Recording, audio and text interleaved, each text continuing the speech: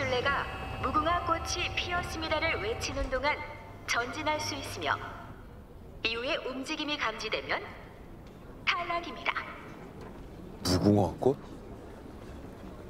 그 옛날에 어릴 때 하던 거 말이에요? 다시 한번 말씀드립니다.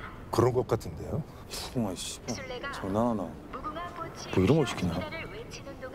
전진할 수 누가 먼저 골이 나나? 이후에 움직임이 감지되면 탈락입니다. 100만 원 봐. 아 씨발 콜 5분 안에 술래의 눈을 피해 결승선에 들어오는 분들은 통과입니다. Rick Hong here for Hollywood First Look. Today I'm at the Netflix Squid Game Fan Experience, which is the number one worldwide hit for Netflix of all time. 무궁화 꽃이 피었습니다, which is Korean for the hibiscus flower has blossomed, or as in America we know it as red light, green light. Let's take a first look. On Saturday, October 23rd, Netflix invited fans of the hit Korean series Squid Game to an immersive experience at Love Hour in Los Angeles. Contestants wore the show's signature green and white tracksuits and played a massive game of red light, green light as ambassadors in pink jumpsuits and masks monitored and upheld the game's rules.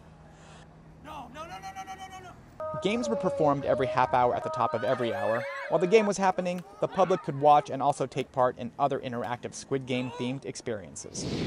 Today I'm with Andrew, and he is going to explain to me how I'm going to get suckered into Squid Game.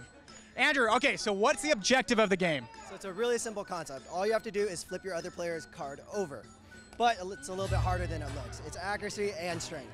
It's not as easy as they make it look like in the Squid Game. All right, let's do this. Let's take a first look. Here we go. Ah. All right.